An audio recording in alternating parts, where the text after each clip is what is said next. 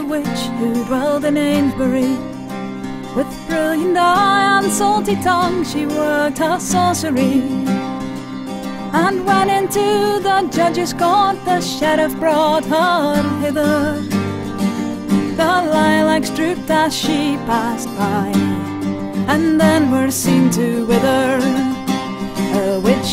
Was, though Tregan need her comely head held high.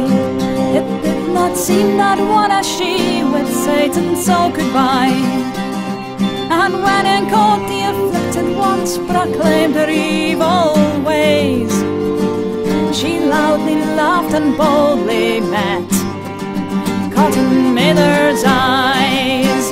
Who has bewitched these maids? he asked, and strong was her reply. If they'd be as I.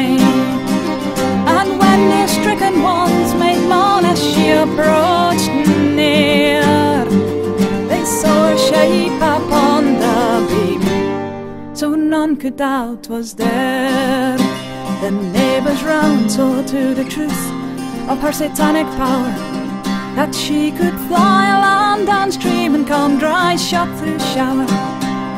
At night it seemed that she appeared a cat of fearsome mien. A ye devil, they had cried, to keep their spirits clean.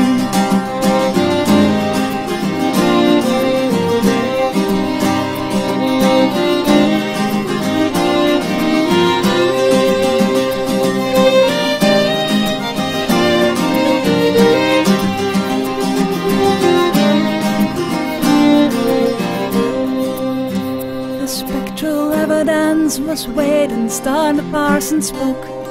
Thou shalt not suffer a witch to live, 'tis written in the book.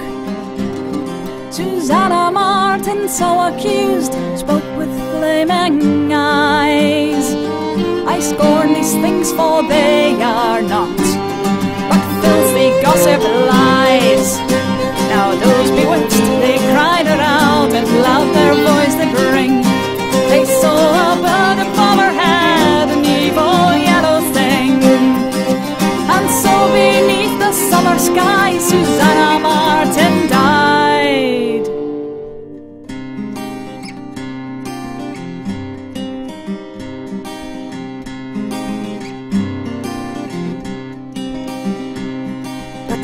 scorn she faced the road, her comely head held high.